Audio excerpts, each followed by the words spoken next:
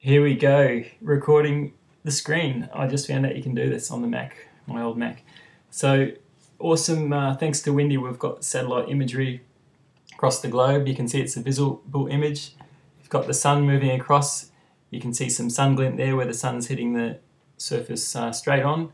And it's also over here, which makes me think that this segment is um, got different timing to this segment.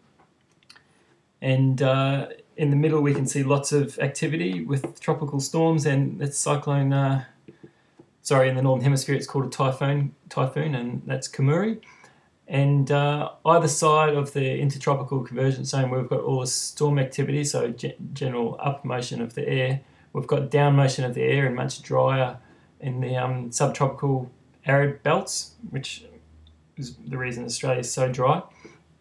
And uh, yeah, linking up with this typhoon, we can see all this air here is speckled with cumulus cloud. It's, it's because it's cold air moving towards the uh, tropics. So cold air over a warm surface gives instability and uh, cumulus cloud. And ahead of that, what happens is the warm air from the tropics gets drawn down and gradually rises up to form this high cloud. It's high because if we look at the infrared, we can see it's whiter. Whiter means it's cold, which means it's higher up. And if there's this other layer, the enhanced infrared, which shows the actual temperatures as colours. So this is really red here because it's really cold at the, the top of that tropical cyclone. And where there's you know intense storm activity, um, all, all, these you can pick out the storms pretty easily because the tops are really high. Um, and same in the southern hemisphere, we've got some uh, you know some high high cloud associated with these these fronts. Uh, but in between, um, we've got this, this cold air, it's not so high, and we've got this warm air being drawn down from the tropics ahead of the front. It's uh, really low uh, cloud, like basically you can sometimes get that overcast crud that you often get in Christchurch, but above it there's all this dry, um, dry air and blue skies. So if you go into the mountains, it's often a good day when Christchurch can be covered in that low cloud. So I'll just go to the zoomed in version. Uh, probably just go back to normal infrared. So we've just had this uh, trough pass through Brisbane, bring us a few storms. Actually, if you put the infrared back on, and if they're still active over water, you can see the nice high tops associated with those storms.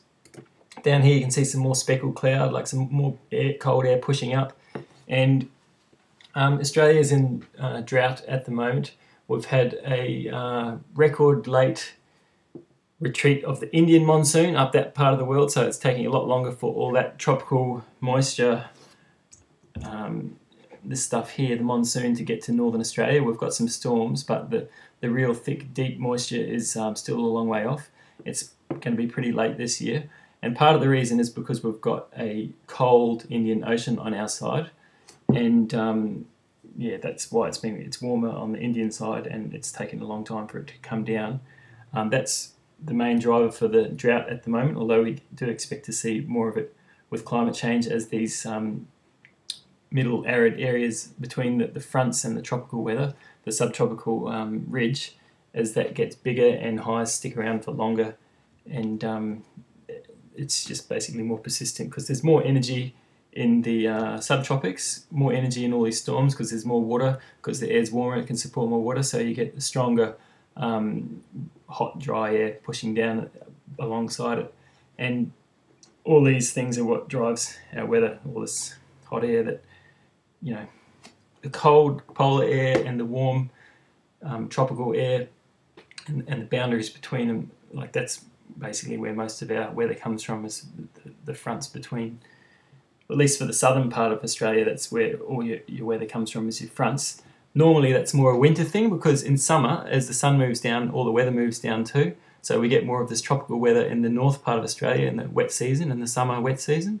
And normally, you get this dry, um, this kind of weather coming down to the southern part of Australia and New Zealand. So at the moment, New Zealand is getting more like a winter pattern, just getting battered by fronts just every day for the next week. I was going to go there, but I pulled the pin on that one.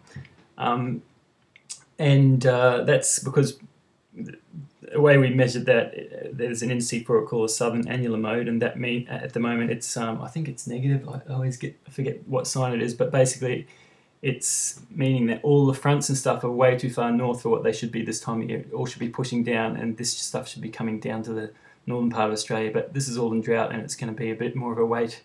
Um, nothing substantial in the next month for the northern part of Australia. So you can see there's some low here linking up with this cold front, and all this warm air is being brought, drawn down. Um, if I go back to the closer image, you can see um, this cold air is doing the same thing behind it as well with this uh, broad scale lifting of air as it comes down from the tropics. The reason for that is you kind of bring your warm air um, over cooler air as you go towards the poles and that makes it sort of lift up and as it lifts up it eventually gets to a point like here where it starts forming cloud. Uh, that's just the same as if you get some air um, at the surface and you shine some sun at it and you get a thermal and it goes up and eventually it it, um, as it expands, as the air pressure gets less as it rises, it will reach a point where clouds form.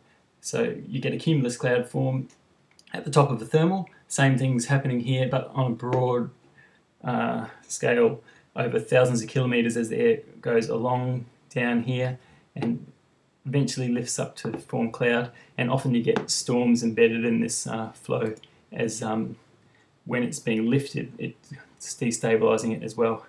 So um, that's kind of been what's happening here. It interacts with the surface as well when you get daytime heating, but sometimes you get storms in the middle of the night, and that's always to do with these. Um, it's often to do with these broad scale lifting of air, and just eventually it gets to a point where pop you get a storm. So uh, ENSO, the El Nino slash La Nina index is relatively neutral at this time of the year, so that doesn't have much to do with the drought, but when this um, moisture is being drawn from the Indian Ocean, there's not as much moisture in it because the ocean's a bit cooler, and well, it's it's I guess it's a lot cooler. Um, so this place is just super dry. Like you're getting cloud bases of over five thousand meters at times. Um, on the really hot days I've noticed in the last few months is pretty incredible. Right, that's probably enough. Uh, I'll leave it at that maybe a little bit more structured next time.